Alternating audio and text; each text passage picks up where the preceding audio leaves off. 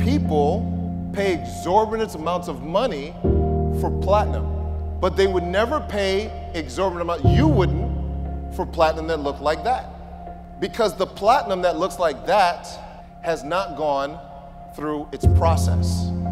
Just because the resource is there, the mineral is there, it does not mean that that mineral has gone through the process for which the value you see is obvious. Many in your life see you as that. It's your choice or not to stay that. If you leave here and haven't embraced everything you've heard, you go home like that. And I cannot see your value when you look like that. But if you leave here understanding what you're really capable of, then the thing that they see you as, they are no longer capable to see you as.